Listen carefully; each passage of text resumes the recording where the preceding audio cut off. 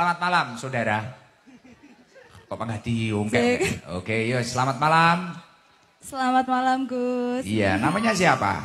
Eh, nama saya Mudita Wandani. Agama? Buddha. Oke, siap. Lu ini Buddha kok nyaman ini sama saya ini? Islam-Islam KTP ini. Loh, piye ceritanya piye? Siapa panggilannya siapa kamu? Panggilannya Mudita. Mudita. Nggih. Alhamdulillah. Mudita berapa orang? 15, 15 Gus. Ah, ah. coba temennya yang belakangnya itu yang baru bunga 14 wing ngadeg pisan wing aja. Loh, ayo ayo Buddha. Ini ini juga Buddha seka- sekalian. Nggih, pokoknya Gimana ceritanya kok bisa hadir di sini gimana? Ini. kita KKN teng mriki. Ah, Nggih, terus ikut teman. ah, ah. Lah tadi kok kok nggak males jenengan? Wah, iki pengajian iki nekakne Gus Ikdam. Ndak, saya ngefans sama Gus Ikdam soalnya. Masya Allah.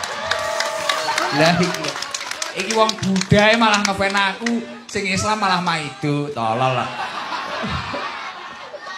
Eh, gimana gimana? Padahal kan kamu beda, beda agama sama saya. Kenapa Sa- kamu kok ngefan sama saya itu? Saya itu lihatnya di TikTok. Yang Ah. pertama kan eh, muncul. Ah. Terus sering muncul, oh kok ceramahnya eh, oke buat anak muda gitu. Mungkin ke mbah saya dari ibu kan soalnya juga muslim. Tak tunjukin, mbah niki lo Gus Ikdam gitu. Hmm, terus terus terus. Nggih, terus tak tunjukin Kamu nggak ceramahnya. khawatir kamu pengen Islam nanti? Lihat saya terus. Gimana? Yang disukai apanya dari Gus Ikdam itu? Ceramahnya Gus sama Mas Danu. Wah, alah. Saudara Danu gak melok iki ya. Wah, wajahmu ganjaran nu. Alhamdulillah. Wah, iki mang enek sahabat sahabat Buddha.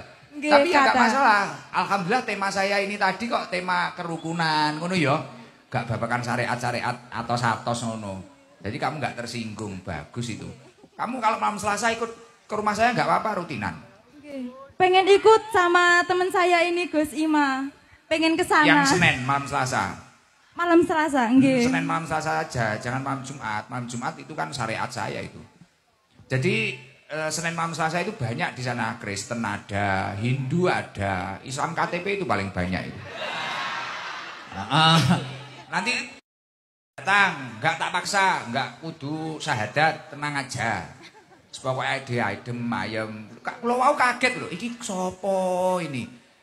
Iki tenanan kok enek sing gak kudungan.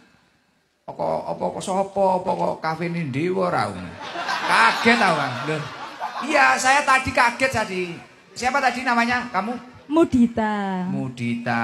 Ini tadi nyaman-nyaman saja. Ketika saya ngaji nyaman. Nyaman sekali Gus saya. Alhamdulillah. Ya Allah, ini ada delapan orang ya tadi. 15, 15, orang ikut nggih. ngaji semuanya. Ikut. Alhamdulillah, luar biasa. Komentari panjenengan tentang rutinan pengajian Gus Ikdam ini gimana komentarnya jenengan sebagai orang yang agama lain? Masya Allah, ini banyak sekali.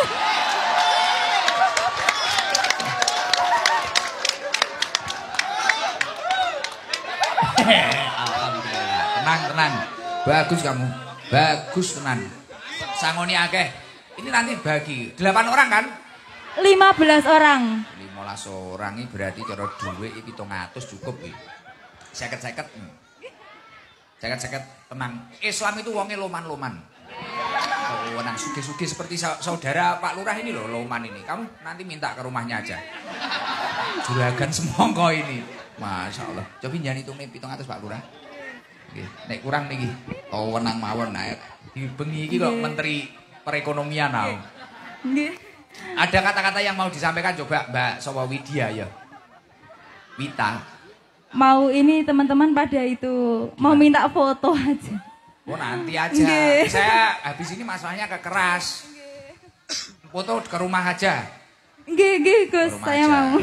Ya nanti kalau ikut rutinan Senin itu gini aja. Nanti biar nggak heboh.